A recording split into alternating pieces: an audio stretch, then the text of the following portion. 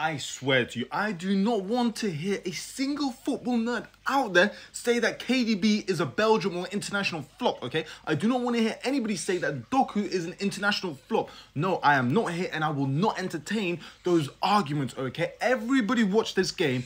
Everybody saw how this man, bro, what the hell? Lukaku, bro, Put the ball in the back of the net and stay on side, man.